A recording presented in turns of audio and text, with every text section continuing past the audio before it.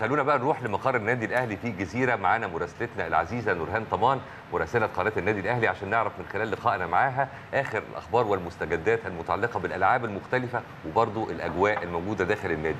صباح الفل عليك يا نورهان. صباح الخير يا كريم صباح الخير يا نهاوند صباح الخير على كل مشاهدي قناة النادي الأهلي في كل مكان. إحنا هنا من مقر النادي بالجزيرة وحالة من الارتياح والسعادة والتفاؤل طبعا ما بين أعضاء النادي النهاردة. يمكن في تواجد بكثافة في الساعات الأولى من صباح اليوم. حالة السعادة طبعا ترجع إلى يعني فوز الفريق الأول امبارح أمام حرس الحدود بهدفين دون رد واقتراب النادي الأهلي من تحقيق البطولة المفضلة لبطولة الدوري. فاضل على الحلو 8 زي ما بيقولوا. آه شفنا هنا كمان ما بين الأعضاء آه استوديوهات تحليلية مصغرة عن مباراة أمس ونال يمكن وليد سليمان الجانب الأكبر من الإشادة والثناء آه بين الأعضاء النهارده.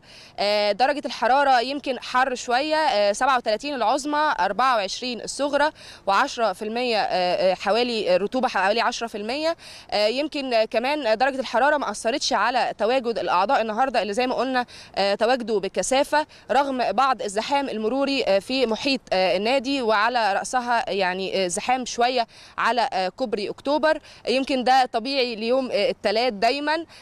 خلونا كمان يعني استمرارا لحديثنا عن الفريق الأول. النهارده الفريق هيتدرب الساعة 11 هنا في ملعب مختار التتش حيث لا وقت للراحة.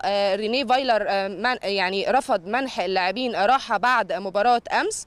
اللعيبة اللي شاركت امبارح في المباراة هتخوض تدريبات استشفائية والمستبعدين هيخوضوا تدريبات كاملة مع تحت قيادة طبعا السويسري.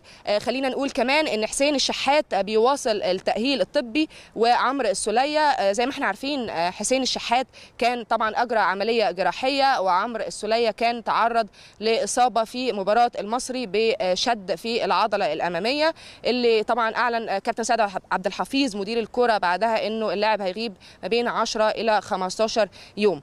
آه يمكن استمرارا كمان بقى للحديث عن نادي الأهلي والألعاب الأخرى.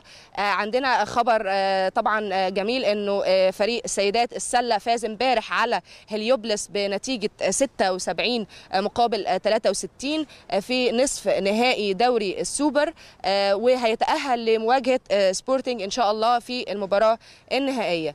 كمان استمرارا للحديث عن سيدات السلة إدارة النادي نجحت في التعاقد مع ثنائي هليوبلس نهى أسامة شتا وفريدة وائل اللاعبتين البارزتين جدا في فريق هليوبلس وهم حاليا مؤهلين أو يعني ممكن يشاركوا في التدريبات الجماعية مع الفريق بعد التعاقد معاهم.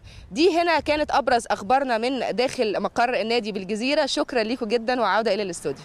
إحنا اللي بنشكرك يا نورهان شكرا جزيلا على معلوماتك الجميلة وحلوة فاضل على الحلو 8 إن شاء الله يبقى فاضل على الحلو 5 يعني لغاية لما نوصل بقى للهدف أو الحلو الحلو وصل خلاص يعني دي تبقى أحلى وأحلى.